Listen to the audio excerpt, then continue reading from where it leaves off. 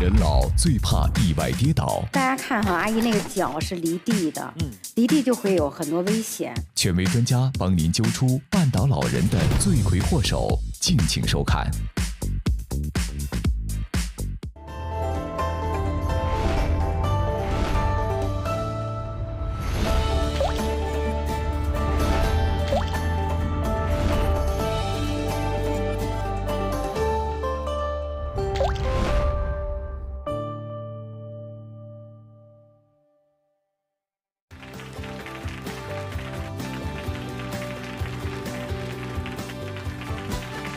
自己健康的第一责任人。各位好，这里是中央广播电视总台央视健康之路节目。本栏目由吉林敖东安神补脑液独家冠名播出。咱们呀，先来看一段新闻，请看。九十二岁的舒婆婆呢，一直是常年一个人独居。那因为年纪大了，这个子女们就给她找了一个保姆照顾舒婆婆的生活起居。但是呢，最近舒婆婆还是发生了一个意外，就是跌了一跤。她一个走下楼来，我也没看到她咋个摔倒的。楼底下没灯呢，可能是踩滑了，踩踩空了嘛。舒婆婆说，当天她吃了感冒药，头有些晕，本想出门走走。谁知道刚下楼，眼前一黑，就摔倒在地，无法动弹。闻讯赶回家的保姆立即将婆婆送往了医院。摔倒的话，就导导致了她左侧的股骨近端的一个粉碎性的一个骨折。骨折本身可能嗯对老年人的嗯生命并不会构成什么影响，但是呢，因为骨折所造成的一个长期的卧床，有可能带来一系列的卧床并发症，比如说坠积性的肺炎、呃泌尿系统的感染。下肢深静脉血栓，如果这个栓子一旦脱落，有可能造成一个肺部的栓塞，这个栓塞呢，有可能就是影响到生命危险了。一段新闻，关于老年朋友呢摔跤跌倒之后的一些危急的情况啊。我发现几位嘉宾有些面色凝重了，有点严肃了哈。你们身边有没有这样的一些经历？我父亲在去年十月份的时候，坐在。客厅里看电视，看着电视呢，他想到茶几上去拿东西。九十岁的老人呢，能不动就不动，所以他就去够，够那个茶几上的东西。这一够不要紧，那个凳子滑了一下，整个的侧的就摔倒了，完了股骨头就是粉碎性骨折。后来送到医院没办法，只能做手术置换了一个人工的股骨头。但是毕竟我父亲九十岁了。当时送到医院做手术的时候，医生明确的告诉我，麻醉以后，呃，因为我爸本身的肺部也不是太好，很有可能就不会自主呼吸了。哎呀，就要进 ICU 了。在我们平时看来都是一件很简单的事情，可是就因为摔了一跤，他会出现了生命的危险。问问我们朱阿姨哈，看朱阿姨呢，好像听我说完，隐隐有些担忧，是吗？反正我挺担忧的啊，因为。我今年也已经七十六岁了，我那个还有一个老母亲在家里呢，那就九十六岁了。我有时候一蹲地呀，也是有这种心吧，没这力了。你去擦那地去，擦完了，等待会儿再想往回走，就腿软了，是就没有劲儿了。嗯，那我特别害怕，嗯进去站着就是怕老怕摔躺下。可是我又怕这九十六岁这母亲呢，有时候又是那什么，反正特别害怕。对老人来说，摔倒这事儿可真的没有那么简单。哪怕是在家里，我们感觉非常熟悉、非常安全，但是摔倒这个隐患可能也无处不在，有很多雷区，我们需要去识别并且破解它。那到底该怎么样找出这些雷呢？我们该如何去预防老人摔倒呢？今天我们就请一位专家来答疑解惑。有请北京大学第三医院护理部副主任护师童素梅，欢迎。童主任您好，欢迎您。嗯，主任这边请。欢迎主任，先介绍一下啊，副主任护士呢，等于是我们护士里面的副高级的职称。所以主任您在护理部是不是看到了很多很多这样的患者、这样的病例？就是老人不注意摔倒，结果好像后果还挺严重的。对，是的，因为我在护理部负责护理质量和安全，所以呢，经常临床呢会碰到这样的病人，而且呢，确实是就像前面各位嘉宾说的哈，可能会造成生命安全方面的这些问题出现。那而且呢，病人不仅是在临床病房出院之后，在家里也可能会发生这种情况。嗯，那咱们护理部有没有什么方式方法来帮助我们去做一些梳理和一些预防呢？因为我们护士呢是离病人最近的，病人住院之后最先接触的就是护士，所以呢我们要对病人有一个评估，所以从病人入院开始，我们就用我们的评估系统，把它从低、中、高风险做一个相应的评估。嗯，这个评估系统呢，我们会看问一下病人哈有没有跌倒史，嗯，就了解一下他在家有没有跌倒史，或者在外边，这样的话我们会对他重点关注。另外呢，还有有没有一个医学的诊断？比如说他有脑血管病，啊，心脑血管病，嗯，啊等等的这些问题，那我们呢也会关注，因为这些疾病可能会造成病人那个跌倒的发生。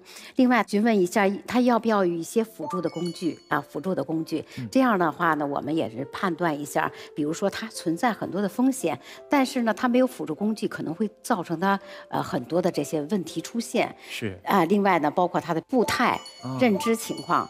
都会给病人有一个判断，这样根据他这些内容给一个分儿。中高风险的病人，我们要特别关注，评估之后会有一些措施给他。嗯。另外，病人出院之前，我们也会给他教育。那希望他出院之后回到家庭、到社会，啊，那他保持一个就是正常的这么一个呃生活方式，防止出现再跌倒。所以这一块呢，我们会给他一些健康教育和指导，让他在平时的生活中有一些特别要关注的点要告知他。嗯，朱阿姨，这样今天来到我们现场了，我们就不能让您这么担心下去，好不好？对对，好。此刻呀，就帮您做一个排雷。帮您排一排，咱家里有哪些雷会导致您和您母亲可能摔倒？对对对，提前解决掉，好不好？好嘞，好嘞。今天呢，我们三位嘉宾哈，同样呢，不光是嘉宾，他们也是三位排雷侦查高手。但是该怎么样去排呢？咱去抓一家不太方便哈。之前我们拍了一段非常非常精致的 VR 的照片，我们就现场通过云端 VR 的方式，帮助阿姨去他们家看一看。有哪些因素我们需要去规避，防止老人摔倒？咱们就先从浴室开始，好不好？三位侦探，你们就边看边记，发现雷区就写上。我慢一点，各位看一看，你们有发现哪些雷区会导致老人容易摔倒呢？如果有发现，就请写在题板上。三位侦探已经扫雷完毕了，对不对？好，那就请亮出你们的排查意见。好，西伟说无防滑垫、无扶手、无凳子。王磊说呢，马桶、淋浴地面啊干湿分离。张青说呢，扶手、干湿地面。嗯，先问一下西伟啊，这三个雷区，你说一个你认为最重要的。因为在洗浴的过程中，我们会用到洗发水呀，或者肥皂，或者沐浴液，它那个都是有润滑效果的。如果说在那个淋浴区下面没有一个具体防滑的一个设施。非常容易滑倒在那个过程中，嗯，然后另外就是那会儿我们在奶奶家是在那个洗脸池，还有这个马桶周围都是有这个横出来一个扶手的，哎，就是老人在上洗手间或者洗脸的时候是及时可以有东西扶住的。王磊感觉是哪有问题？我们看一看。我先说那个马桶，为什么呢？触手可及，没有扶头。嗯，这个因为我父亲啊做完这个腰椎管狭窄手术之后啊。他尤其是做完之后，到一定程度之后，它让你起这一下的时候是很费事的。你这一下的时候呢，它需要借外力，所以我觉得这这这个是一个关键点。其次，就刚才我说的这个下面这个干湿分离，能在这圈出一个区域来，哎，洗澡单独的用这么一个。咱说，你说这，你看到酒店也好，到什么，它单独有那种闭合式的也好啊，专门那样的也好啊，那水不容易溢出去。尤其是洗完澡迈出这头一步，这最可怕。这我特别有经验。尤其我这岁数，我都是遇到过，在在酒店，就是洗完澡第一脚迈上去，如果没东西，哧溜就一下子。在这个厕所里面，我觉得最应该解决的就是扶手要安装，干湿要分离，这样的话来杜绝地面的这个滑倒。嗯，好，谢谢三位嘉宾哈，可以说英雄呢所见略同，观点也是比较一致的。但是到底是否正确呢？问一下我们的童主任。呃，我觉着三位嘉宾的这个安全意识和想的办法都特别好哈。那比如说朱阿姨家的马桶哈，确实刚才像三位嘉宾说的，都应该有扶手，因为老人岁数大了，他的。肌肉力量差，另外他坐的时间长之后，他起来的时候确实要费力，他要借力，有一个扶手，他借力能起来。同时呢，有好多老人关节、膝关节不好、不舒服，那这样呢，呃，借力呢能起来，这个是防止跌倒很重要的一点。因为我们家我父母也八十岁了，前一段时间呢，因为老房改造嘛，很多人都在做改造啊。这张图其实是我们家的一张图。哦，这是您家的卫生间。因为呢，是我妈妈也是去年的时候做了膝关节置换术。哦，那膝关节置换术呢，真的做完手术之后康复锻炼训练，非常的呃痛苦，而且时间也特别漫长。那另外呢，他整个活动，比如说从马桶上再起来的时候也是非常困难。所以呢，我呢在装修我们家这个卫生间的时候，特意给他安了扶手。这个扶手是可以支起来哦，啊，它还可以贴墙，用的时候放下来，不占地方。哎，不占地方，不会说因为这个脚绊在这个这个立柱上啊，再绊一个跟头哈，这样还是非常好的。因为我们也是呃，在考虑到老人的这个马桶的需求这一块儿哈，还是要安装这些是呃这个工具的。马桶旁的扶手啊，童主任亲测有效必要。哎，对，完另外呢，还有一个呢，就是在医院里边。这张图呢，大家看，这是我们医院里的卫生间。大家看见有没有不同哈？在这个马桶的这个这边呢，还有一个按键，按键呢就是如果有问题的话，可以按，就像一个报警的措施似的，那别人就会来帮助他。比如说起不来，或者发生有的其他的意外的时候，就能帮助。所以在老年人的这个整个卫生间的使用的过程中，又要保证呃安全啊，又要保证能。有一些发生意外的时候，能及时有人帮助他，这个也是非常重要的。紧急呼救是。刚谈到一个干湿分离的概念哈，您觉得这个必要吗？呃，干湿分离，当然各位嘉宾说的都非常有道理，但是呢，我们可能也要考虑老人家的这个厕厕所、卫生间的大小。嗯，那如果如果特别狭窄的话，比如说洗澡的时候，他自己的活动度这个空间小，反而磕磕碰碰会更不好。所以呢，如果是这个浴室比较大。我们就可以有一个呃干湿分离的这么一个装置哈，一个就像小房子一样。但是在朱阿姨家，我觉着感觉不太适合，还是装一个。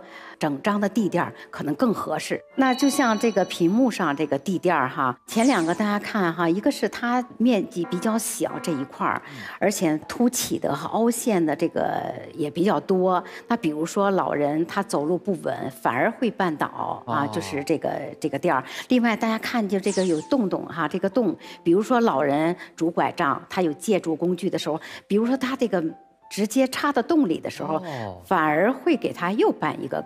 二次伤害，我觉得这样会更不好。这真是长期的经验总结出来的啊，我们都很难去想到，对不对？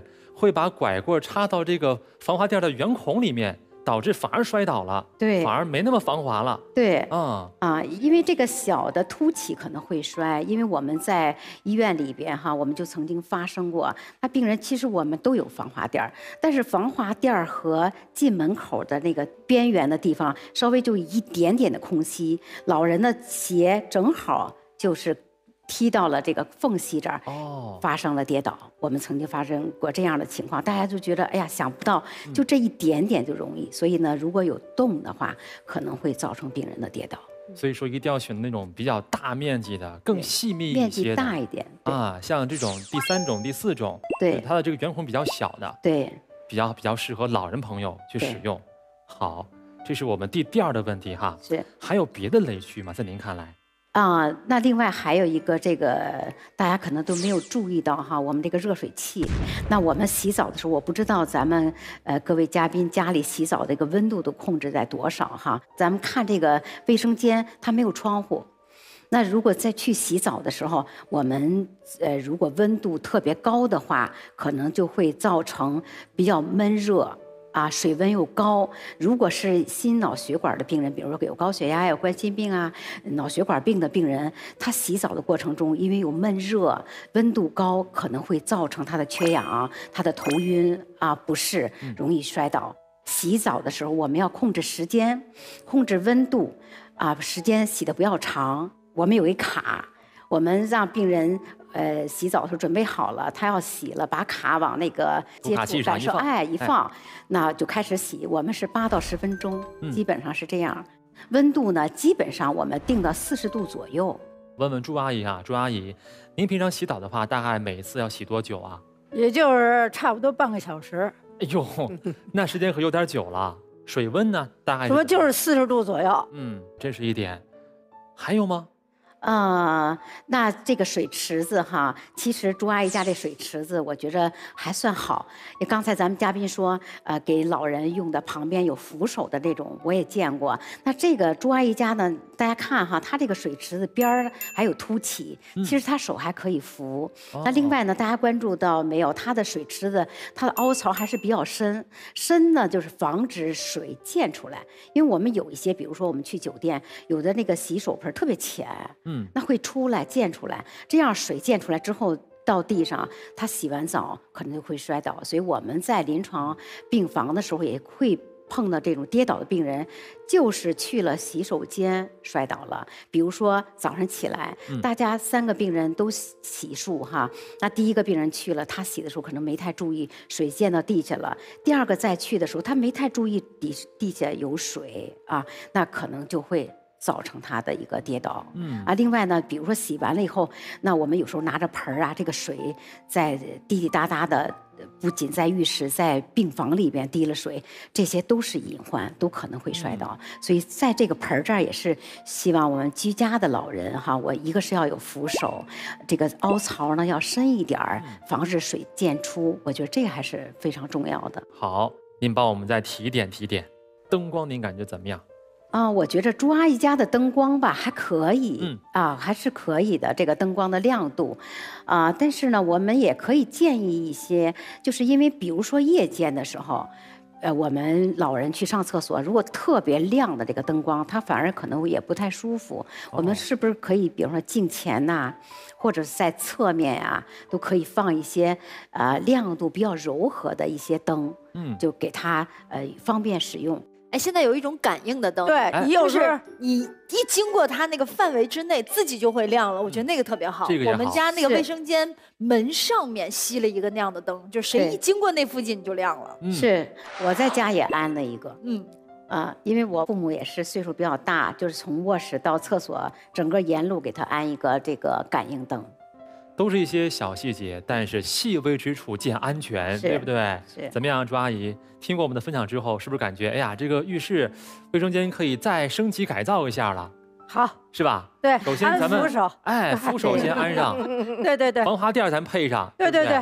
还有这个什么呀？镜前灯，咱尽量也配备一个。好。您现在收看的是中央广播电视总台央视健康之路节目，本栏目由吉林敖东安神补脑液独家冠名播出。好，我们说呢，说完了卫生间呢，咱们再继续扫雷，咱们去客厅里看一看，好不好？我们先分别看一看，这是第一个角度，从门口进来之后，站在客厅的算是中心位置哈。我滑动一下，我们几位侦探哈，看一看，发现了哪些雷区，可能会导致老人摔倒。这是我们的沙发区域了哈。对，在我们谈话区的后边，哎，沙发区域。阿姨，这是地垫还是什么呀？这个，那个就是地垫那个我母亲就爱在那坐着。啊。她坐着吧，就这不沙发，她就老爱坐那沙发那儿。啊。坐那沙发，我怕她脚凉嘛，我就给她垫一块。明白了。嗯。好，我们三位嘉宾啊，三位侦探似乎又有些发现，对不对？请亮题板。嗯。细微写了椅子轮子，过道窄，地垫儿。王磊呢写了也是轮椅。电线、家具的硬角，张青的写的是杂物，中间椅子，地下太小。好，三位每人选一个你们认为可能最要紧、紧急、急迫需要去改变的一点。那个地垫其实是很危险的一个，就看似很温暖，但是它有危险系数。一个是别说老年人了，我们都有过在地上铺地垫一踩，哗就哦就摔了。对，所以感觉这个地垫反而有点 画蛇添足了。嗯，对。好，我觉得那个门口那个轮的椅子啊，那转的那个这个椅子呢，坐着呢，平时呢虽然去哪儿都很方便啊，一咕噜就去了啊，但是起来的时候很可怕。嗯，他这个借不上劲，尤其是一撑这椅子，老人起来时候因为借力嘛，一撑这椅背儿，啪一撑，这轱辘就体现出来，滑，咕噜，他可能就走了，嗯，啪就摔倒了。还有他后边那线，就是那后边那，你看那椅子底下有电线，这些角那儿就很容易被绊着。哦，你看的太仔细了啊！我的眼神那么好啊。张青呢？那个我觉得进门那个杂物，首先这个杂物什么东西啊？就是过道啊，本身这个过道就不够宽。所以杂物放在这儿容易绊倒老人。嗯，好，明白。嗯，先问一下童主任哈，主任，这一轮我们三位侦探是不是好像我感觉进步了一点，更靠谱了一些？确实是感觉啊，这眼睛真的很厉害啊，很厉害，发现了很多特别关键的这个地方哈。那我们首先看一下刚才大家说的哈，呃，我们的嘉宾说到了这个纸盒子，嗯，大家看这纸盒子哈，我们特别害怕地上有这些杂物。因为他不可能大步迈，他都比较小步，而且呢，步伐比较紧凑。那如果他抬不起脚，正好呃这个走路又是一个拐角，进了这个到饭桌这儿，那拐弯的时候看不到，就容易摔倒，这是特别呃很危险的一个这个放杂物。那另外呢，还有一个刚才那个电线，我觉得电线也是啊，那电线呢，如果是绊倒了，也是一个特别危险的。我觉得看的都非常准。那童主任还有哪些雷区是您发现的我们没有看到的？比如说桌角，大家看那个茶几的角，这个茶几的角，刚才朱阿姨说老奶奶是经常会坐在这儿。那比如说她坐起来的时候行动不便，她。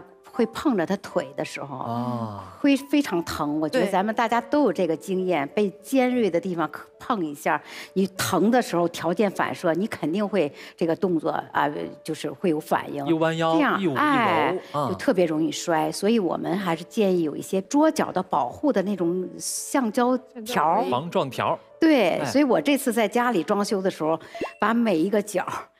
基本上都给它安装，就可能会有问题的，包括上面的角，比如说橱柜上边的这个角落呀，都会给安上啊。这样呢，会也是一个保护的措施之一，虽然是小细节。好，小细节特别好。嗯，然后这个地垫，刚才我们有嘉宾也谈到说，这个看似啊非常的温暖，但好像反而是埋了一些雷。对，这个地垫呢，本身它就这一小块儿它的边沿呢也容易。绊倒，比如说穿鞋绊倒，还有一个大家看到没有，它的右下角这儿是有一点点卷边儿，已经卷边了。对，这个卷边儿卷起的地方特别容易摔，特别容易摔。不仅是老人，就像我们工作人员，我们经常会在楼道里贴一些指示条，比方说三角的指示条啊，或者是有一些指示的标识啊。经常如果是维护不好卷边的时候，工作人员也会被绊倒。对，所以我们在家里，凡是这种危险的都不要有。另外这个。这个地毯呢，地垫呢，还要注意一下，一定要防滑。因为我们好多家里为了美观，就用一些，比如说用线呐，或者这种织起来的，为了美观、舒服的这个比较绵感、比较好的地垫那但是它底下一点防滑作用都没有，所以我们最好是底下要防滑，或者稍微固定一下，这样可能会更好、更安全。那另外呢，还有一个带轮的椅子呢，这也是特别提示一下。那在这儿呢，我也是有一个案例，我们病房里边，我们不是椅子的轮儿，而是这个助行器也会被绊倒。有的老人是推着助助行器，他要外边走，所以有个轮儿，他不是推着比较方便嘛，一边走就跟咱们那个商场、超市的购物车似的，他比较方便能走。只要带轮儿，那推着走可以，停下来当扶手的时候，一定要给它锁死。所以这个椅子虽然不坐，但是比如说有时候要倚靠啊等等的时候，还是有危险。所以呢，老人就不要接触它，家里肯定就是孩子用哈，不要接触啊这样的椅子。带轮的椅子总归是一个隐患，是隐患。所以说看起来，你看好像这个椅子更加的宽大，有腰背支撑，可能更舒适。对，可能是儿女想为父母尽个孝心，说妈，给您换一个高级的椅子。嗯，结果没想到反而有一些安全隐患在背后。是的。那到底哈这个椅子我们。该怎么样去挑选呢？朱阿姨，今天啊，我们准备几个椅子，请您来看一看，选一选，您认为哪一把椅子更安全，好不好？好。来，各位看啊，这六把椅子呢，可以说造型、材质、弧度都不一样。阿姨，您来选一选好不好？您来都体验一下，您看感觉哪个可能最安全、最舒服啊？您都先体体验一下，都坐一下。这个好，来，阿姨，您就坐着聊吧。您坐着哈，您感觉刚才这几把椅子哈，哪个最舒服，哪个最不舒服？那几个投了的都不大舒服。前面几个为什么呢？哪不舒服？他那个坐着呢特别单薄，你要是那什么的话，一第一把黑色椅子。哎，对对啊，这个呢它来回转不稳，不稳，不稳。这个呢太低了，你起来也也不是舒服。哪怕有扶手也费劲，也费劲。嗯，好。这个呢，呃，没有扶手，这个我觉得它也不滑。还比较稳，还有两个扶手啊。这个呢，你看这它离脚呢，脚离着这个，你要是站起来，要是十步那一下就能栽了啊。用我家里那圆椅子就是这个，所以我也不坐的。它离它特别高，你要等到要一站起来，它离着脚，你一站起就能够容易摔啊。嗯，我还真以为是这把椅子可能会最舒服，它最宽大。阿姨刚才说的这个非常对，因为大家看哈，阿姨那个脚是离地的，嗯，离地就会有很多危险。那我们在病房呢也发生过这样的案例，我们两个病友也是两个老奶奶啊，在在住院期间，他们就聊天嘛，那坐在一个就像您这个高度，她脚不能挨地，而且呢，老人吧特别习惯把两个脚交叉着，哎，盘着，俩人聊聊那。本身他有脑血管的疾病，突然的一个晕，那老人直接就倒地了。那当时额头和面部、牙这个口嘴这块全着地，那牙也磕掉了，头也破了，就非常危险。那呃这样呢就特别容易，就是你没有第一时间的给一个自己着地脚着地的一个保护，所以很危险的这个哈。好，朱阿姨，那咱快别坐这把椅子了，咱就坐您选的这个吧。哎，把椅子啊，坐稳当了。这把椅子呢，我觉着是还是可以的，因为大家看她的朱阿姨的脚也是落地的哈，而且呢有扶手，那另外也有靠背，同时呢大家呃看没看到她坐在这儿还是比较呃踏实的稳定？为什么？就是她的这个大腿整个这个长度正好和这个椅子这个面儿啊这个面儿是。基本上是一致的，所以我们在选椅子的时候，最好是这个腿的这个大腿的长度和这个椅的这个平面是一致，可能会更好。那另外呢，就是说我们这个小腿和椅子的高度哈，我们也是有一个要求，基本上四十六厘米，对，四十六公分可以。但是我们不管怎么说，也是根据人的身高来去来来不同，所以我们尽量小腿和椅子的高度相差一厘米就差不多。给阿姨，咱们就量一下，看现在这个高度是不是符合您的这个黄金标准的？来，我们看看啊，真的非常准确哈。哎。大家看没有哈？就在四十五到四十六之间啊，基本上这是这样一个高度。您选择的还是非常好的。那这个椅子呢？大家看是只有靠背没有扶手，那肯定是没有这把椅子好，对吧？那这个沙发呢？啊，刚才大家看呢，这个朱阿姨坐下去的时候，就本身这个力就一下就坐进去了，起来的时候还是很费力的，是吧？她要费力，所以就像之前我们说的，那关节不好的呀，这个肌肉力量小。小少的呀，弱的，他起来的时候非常困难，这样呢也会容易摔倒啊。那那个椅子是更不稳定了，大家看这个灰色的，它在转不稳定，就就很危险。那另外这个黑的椅子，我们原来病房患者坐的就是这样的椅子，但是有一个什么问题？大家看，你坐在这儿的时候，比如说我们经常有时候就会坐前面三分之一，一坐。如果这样的话，就容易折倒。我们也有病人就坐在那儿没事儿嘛，他这样一下椅子就翻了。人也摔地下了，而且我小时候坐这样的椅子，我还从后面折下去过。它是折叠椅，对，所以呢，这个很危险。我们病房里边特意为了老人这个坐的比较安全啊，当时没有换新椅子的时候，我们护士都非常细心，把这椅子的长度给量了，标了颜色，贴上条，告诉我们入院的时候告诉患者，您要坐这线以后这个区域。这样保证安全，不要让他坐三分之一前的这个位置。所以呢，我觉着朱阿姨选椅子选的还是非常好的。嗯，真的是啊，这个 真实的感受就是最科学的标准哈。是的，谢谢朱阿姨，谢谢。客厅呢，我们都已经排列完毕了，还有最后一个空间也是非常重要的，就是我们的卧室部分。我们来看一看，来，第一个角度，这是站在床靠近窗的位置。三位侦探看一看，你们有发现哪些问题呢？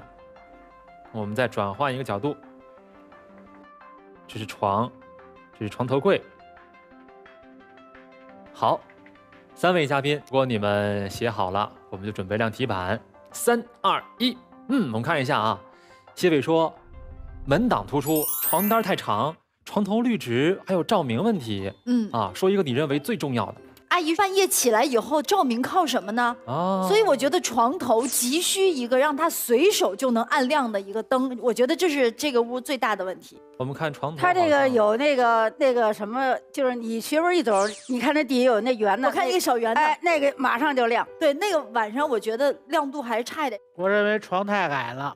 哦，太矮了。嗯嗯，床有点矮，床矮这个意思就是什么呢？就是说起来呀。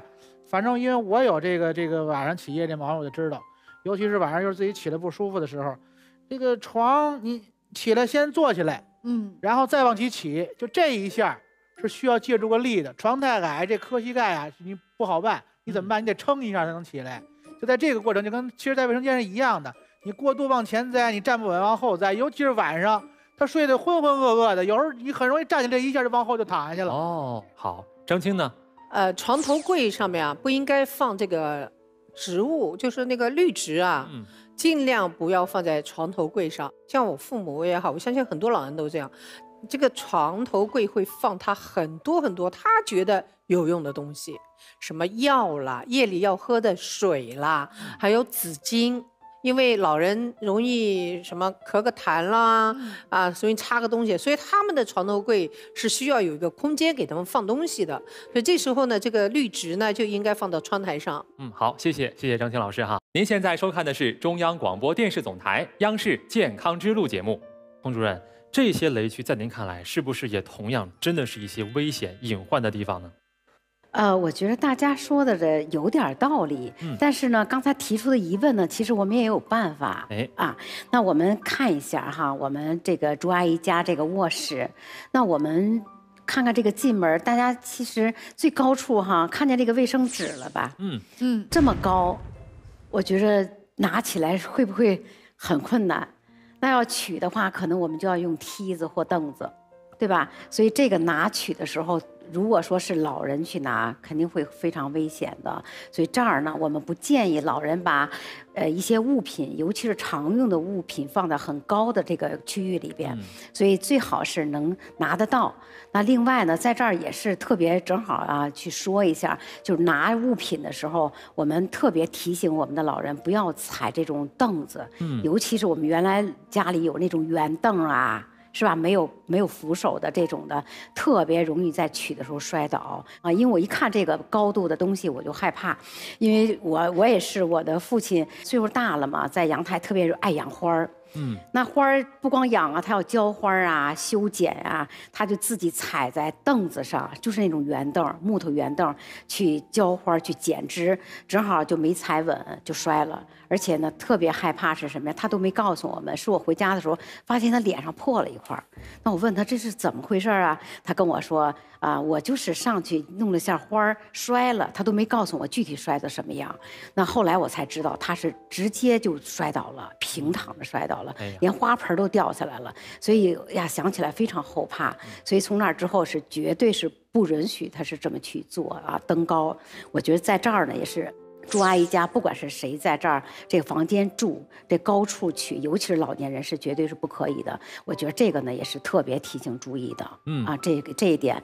那另外还有一个，大家说那个灯。其实我觉得这个灯在这儿照的时候，可能就是照个亮，你眼跟前儿这点亮，有可能你的鞋能看到。但是比如说我们企业要去厕所、卫生间的时候，我们要过通道，所以建议我们的过道里边有这种感应灯啊，就是你走过去就能亮，相当于把你通往你要去的这个区域都照亮，会更好一点儿。就是走道的刚才的那个脚线的这个就这种地方，其实都可以，因为现在有很多吸的那种的啊，我也买的那种哎一吸就感应灯啊，也是非常好的啊，这是一个。那另外还有一个呢，就是说我们的这个药盒啊，大家看呢，刚才呃这个朱阿姨家里有那个药。朱阿姨，您的那个床头放的都是什么药呢？我那点儿有一个是降压的，还有一个那个利尿的。我为什么搁在那儿啊？有时候我竟爱忘啊！我搁在那儿一提醒起来，哦，待会儿该吃药了。嗯，哎，我就能那个及时的那什么了。要我又是搁在抽屉里，得今儿又不难受，不能就不吃了。这些药吃的时候。这块儿呢也是放是放的可以，那吃的时候也有一些注意点，比如说，呃，高血压的药，那高血压药吃完了之后，比如说它是降压的，降压的会出现一些血压下降的时候，如果突然改变体位。容易出现体位性低血压，嗯，所以呢，就是说我们要特别注意。刚才呃，咱们嘉宾说到了，我起床的时候，那我这个床低，我可能不这个会摔倒。但是其实在这里边还有一点就是什么呀？吃药。嗯，吃药，因为我们病房也发生这样的，比如说我们呃心内科的病人，那他有高血压，呃冠心病，他吃了本身有扩血管之后血压呀也会有影响，那他本身要吃了降压药，血压就低，那他呢起来晚上起床，那起来上厕所啊去卫生间，直接醒了坐起来穿鞋直接就躺地下了啊啊，因为一个是说。降压也就是药物的一个副作用，就会有眩晕呐啊这种的晕厥的这种情况。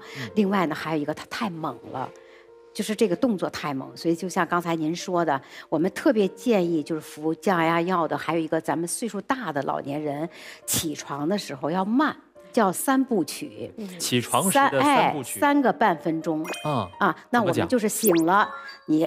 不要马上起，嗯，那我先清醒一下。刚才像您说的，他还迷迷瞪呢，哈，还不太那个清楚呢。那我们就让先床上先躺一会儿，让自己清醒一下啊，就是清醒一下，知道是哎我醒了，整体的身体的状况应该是恢复到一个比较。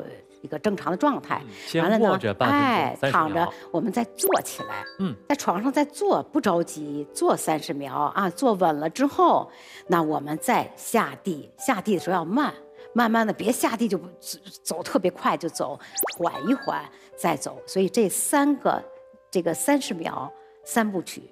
也是对老年人来说非常重要的。另外，如果你特别快的速度起来，我们想啊，我们是平卧呗，身体血液循环整个它是平的。如果猛地一坐起来，脑容易缺血，对，容易缺血的话就容易头晕，就容易摔倒。所以呢，大家就是这一点对老年人来说也是非常重要的。嗯，刚才朱阿姨说的利尿药，我觉得利尿药呢，就是有一个时间提醒，就是什么呀？我们不要。要睡觉了，晚上吃，这样因为本身就利尿，您是要睡了，吃了药了，你会反复的去厕所，这样呢，增加了一些风险。你要床上起来再去这个这个卫生间哈，呃，而且呢，利尿剂它的作用如果比敏感的话，不是一次，可能会去几次，都可能会出现问题。嗯啊，所以我们还是建议白天的时候啊吃利尿剂。另外，吃完这个药之后。去呃卫生间的时候一定要小心啊，因为它本身也会产生一些晕厥不适的情况，这它的药物的副作用就有这方面的这个危险，所以一定要注意要缓慢。都是我们在临床一线的一些最直接的，可能我们会忽略的一些重要的小提醒、小贴士哈。怎么样，朱阿姨，今天收获不小吧？太大了，太大了。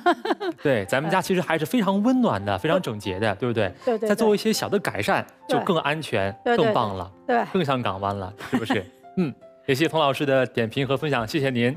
那最后呢，各位还请别忘了，看完电视看直播，有问题直接问专家。欢迎各位下载央视频，关注健康之路，在央视频的直播。谢主任，谢谢您，还有四位嘉宾都辛苦了，谢谢。明天咱们不见不散，再见。